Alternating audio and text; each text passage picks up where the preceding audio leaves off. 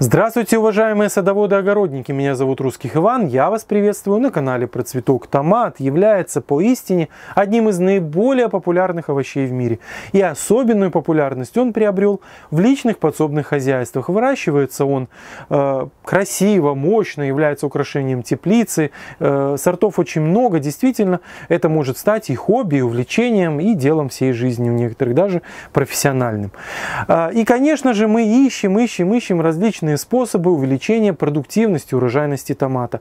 Конечно, урожай зависит от подкормок, от защитных мероприятий, от многого другого, но все-таки мы также ищем способы, как можно увеличить урожай томатных растений без применения каких-либо поливов, подкормок, там э, еще каких-то мероприятий, которые требуют ну, каких-то таких традиционных способов увеличения продуктивности. И а, такие способы на самом деле есть.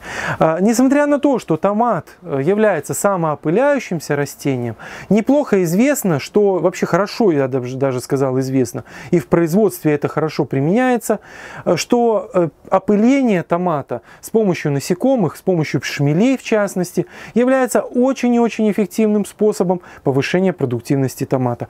Когда вам в интернете или на картинках или где-то еще показывают вот эти промышленные сорта томатов, которые гроздьями висят, усыпаны плодами, которые выращены там на, на высоком агрофоне, точно вы можете быть уверены, что они были э, обязательно выращены как с использованием гормональных препаратов и одновременно в обязательном порядке они были выращены с использованием опыления шмелями. Шмели выращиваются специально в производстве для того, чтобы э, опылять вот эти промышленные теплицы. В принципе, продаются. При известной сноровке их можно достать. Но, с другой стороны, э, далеко не всем доступны эти шмели, хоть их там и по почте даже присылают, еще как-то. Ну и не у всех такие большие теплицы, чтобы заниматься покупкой этих пчел, этих шмелей семей.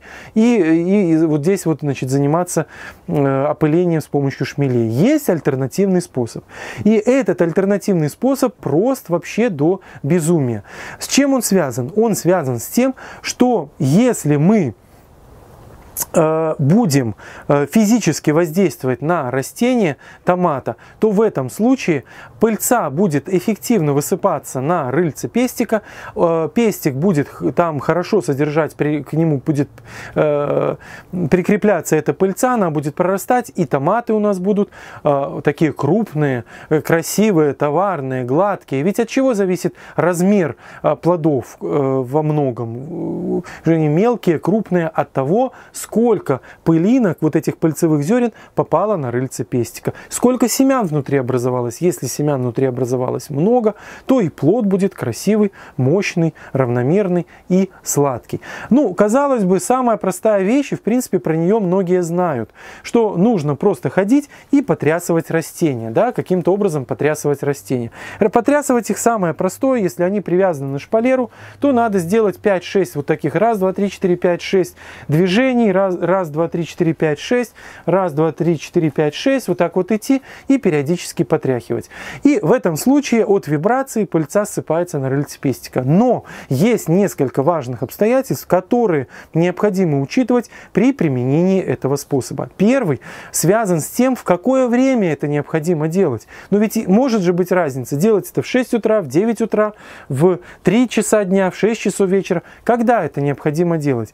Вот э, сроки сроки вот этого вот мероприятия по вибрации этих растений и потряхиванию для того, чтобы пыльца сыпалась, наиболее эффективно проводить в утреннее время, на восходе. Ну, конечно, я не призываю вас вставать в там, 5 часов утра и этим заниматься, но в период с 10, с 9 до 11 часов дня вам обязательно необходимо провести это мероприятие. Если вы ранее птаха, жаворонок, и вы придете в теплицу в 6 утра и тоже будете делать вот это мероприятие, мероприятия, это тоже будет очень хорошо. До 6 утра не советую и после 11 дня уже тоже не советую. Это мероприятие не будет эффективно.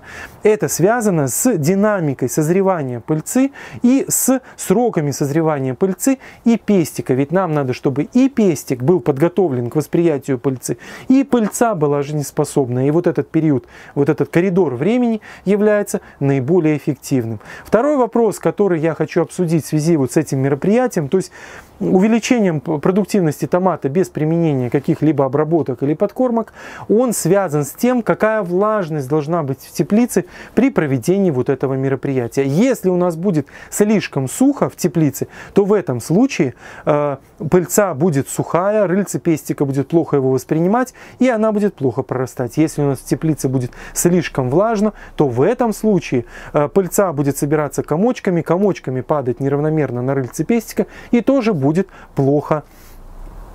Как правило, в утренние часы в теплице собирается достаточно большое количество водяного пара. Это связано с тем, что растения ночью дышат, они окисляют те вещества, которые они образовали за ночь, выделяют достаточно много влаги. Поэтому перед проведением вот этого мероприятия по потряхиванию растений в течение хотя бы минут 40 откройте форточки двери настежь и проветрите вашу теплицу. Это не позволит высохнуть воздуху слишком сильно в этот период времени, вот в этом коридоре от 9 до 11 утра, с одной стороны.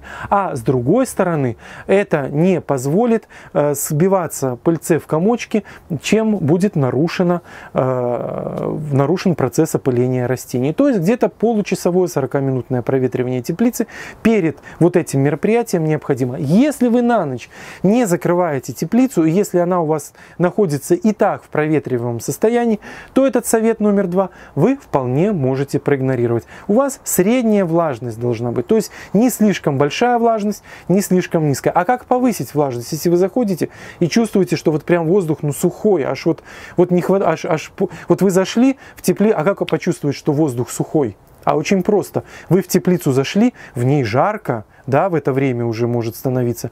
Вы потеете, а пот с вас не течет. Он весь испаряется. Это означает, что в теплице низкая влажность, пот легко испаряется. Чтобы повысить эту влажность, немножечко приподнять, закройте вашу теплицу буквально на 15-20 минут, и эти насосы, которыми являются растения, насытят в достаточной степени э, вот эту влажность, обеспечат вашим э, растениям этой пыльце, для того, чтобы она как следует э, спадала на рыльце пестика и э, опыление происходило как следует. Что ж, два таких простых элементарных совета, которые вам помогут значительно увеличить э, эффективность вот этого метода по опылению, как вы вместо пчелки, вместо шмелика будете ходить по вашей теплице и заниматься вот этим вот самым опылением ваших растений для того, чтобы получить богатый-богатый урожай. Что ж, трудимся как пчелки и шмели на благо нашего урожая все вместе.